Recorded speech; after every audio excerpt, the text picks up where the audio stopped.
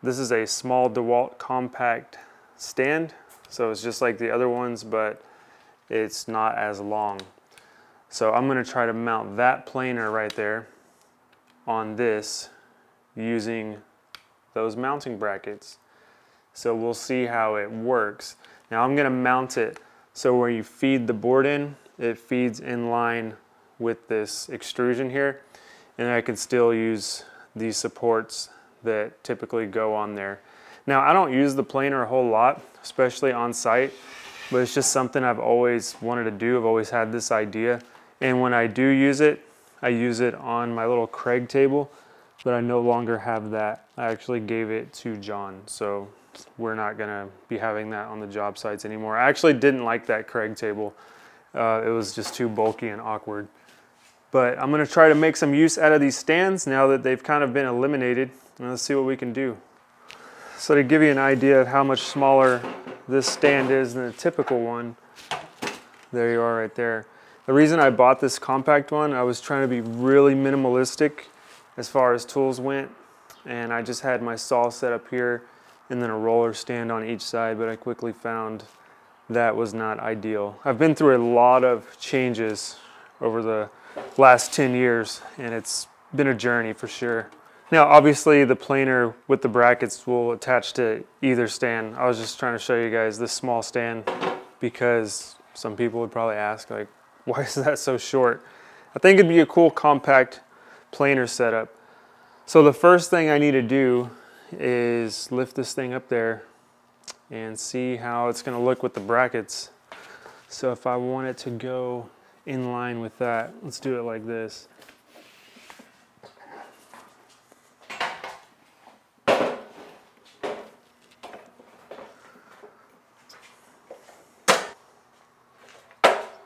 So then I could have this set up here and it would obviously be elevated up a little bit because of these brackets. And I could use that typical um, DeWalt support that's out there on that arm and that can kind of support the board. Or I could come up with a better like longer platform to support the board out here.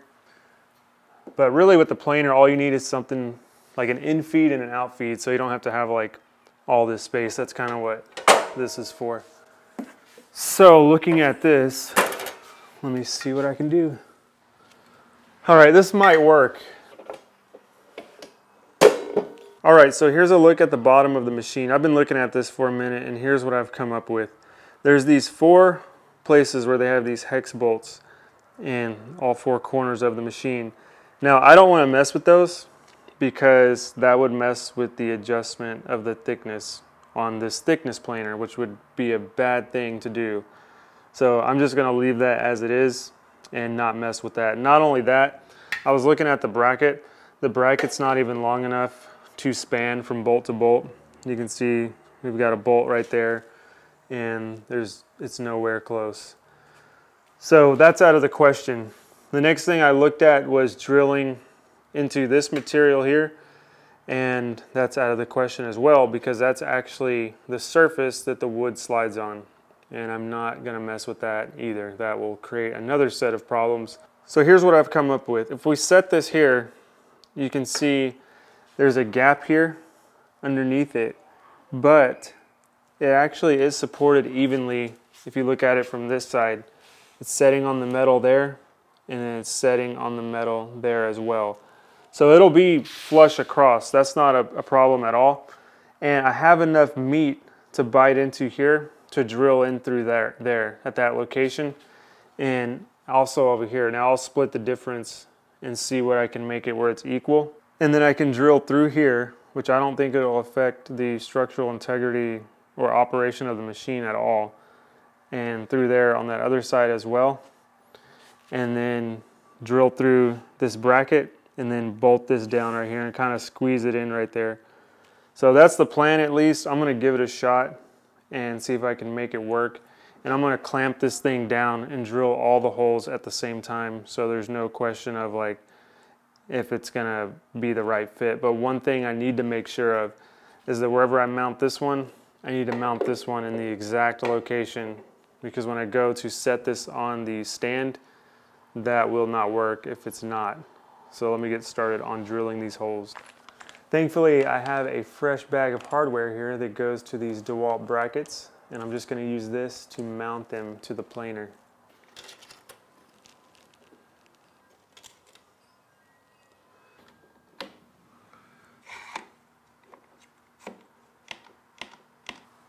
So here's a look at what I got right here before I drill it. One thing that just crossed my mind, hopefully this is not a problem, is the stand is gonna be right here where the bracket grabs it. And that's a lot of weight off to the side over here, but I'm just gonna try it anyways. So here we go.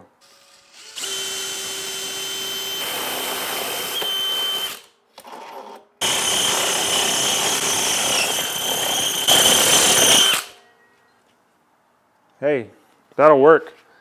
That will work indeed. So it's not too low, even if I needed, or even if I wanted to use the lock washer with a longer bolt, I think the height right there is perfect. You can see this carriage bolt right here is not letting it sit flush, so I'm gonna have to uh, kind of countersink that. I don't have to use a carriage bolt, but it's all I've got right now, and I wanna just go ahead and get this thing done. So I'm gonna just countersink that a little bit. Okay, next one, I'm gonna do the same thing, drill it at the same height. Looks like I drilled that one 3 eighths down, right in the center.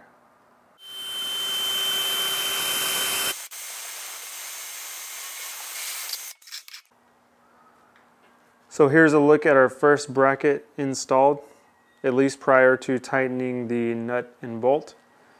And I think it looks pretty clean. I think we got enough bite right there to hold that. I don't think that's going to be an issue. One thing I think that's going to be an issue though that I didn't really think about is this kind of a tilt motion since I'm mounting it to like a sidewall and not down. Hopefully when I tighten this it kind of just squeezes that and maybe it'll do the job.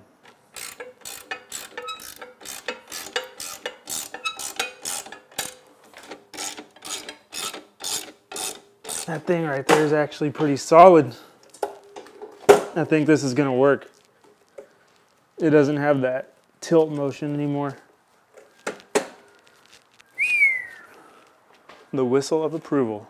So to get this next one squared up, I'm just gonna reference this square edge of the machine right here and then put this uh, big drywall square up against the, uh, the bracket there and then that should give me the location of this one. So basically just using a square to get this mounted correctly.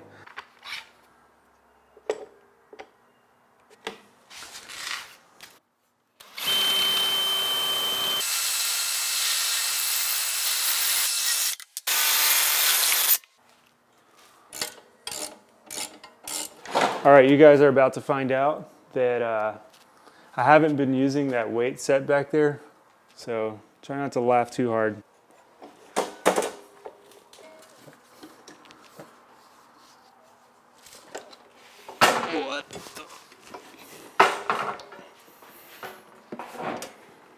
Probably not the safest setup. Okay, how's this gonna work now? What? What? It's super stout too.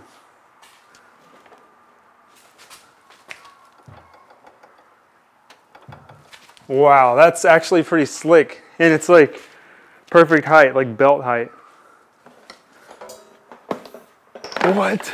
That's awesome. You can see it's mounted exactly like the miter saw as far as the way the brackets grab the stand.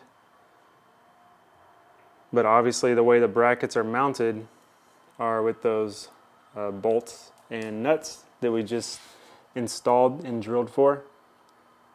So I think this is actually a pretty slick setup and we'll go ahead and take it out into my yard over here.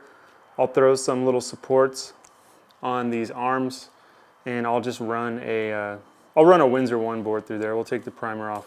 I should have one in the pile around here somewhere.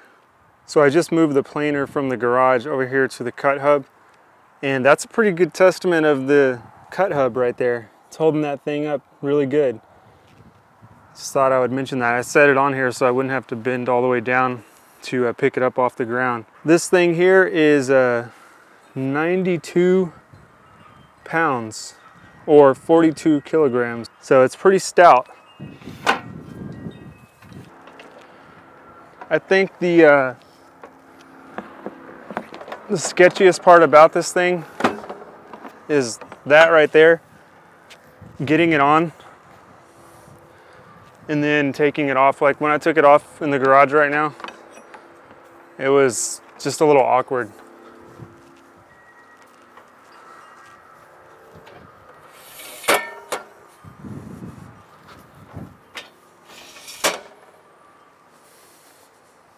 And I think I have the perfect solution for this too.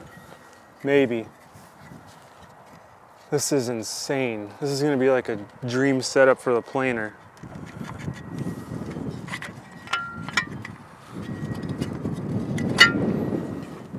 Wow, that is crazy. The offset of this little jig.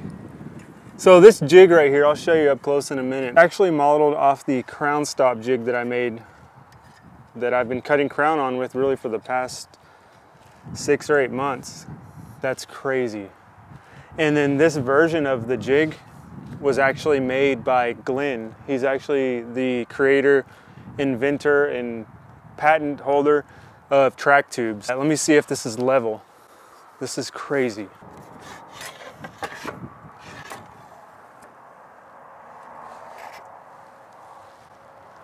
Ah, so it's not gonna work. I can come up with something though.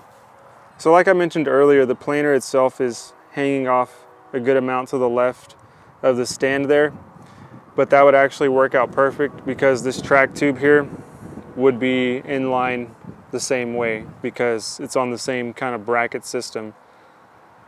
So that would work. I just got to get it lower. But this would have been awesome because you can see Glenn, who invented these track tubes, he made these for me. They're adjustable. And he has a lot of ideas that you can make with these track tubes that has this knob. And then I was hoping it would get low enough to where it would go in line with that infeed table. But it's not looking like that's the case, but that would have been cool. And you can do it on both sides and uh, get it exactly how you want it.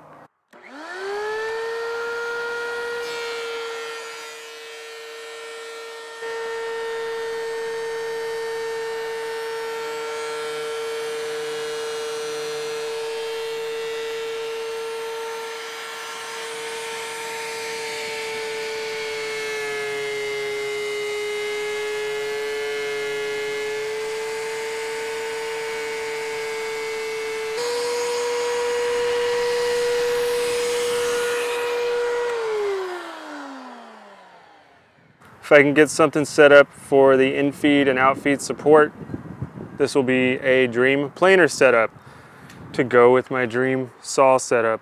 So pretty cool. All right guys, so that's gonna do it for this video. Thanks for hanging out with me as I modify my tools. So there you have it.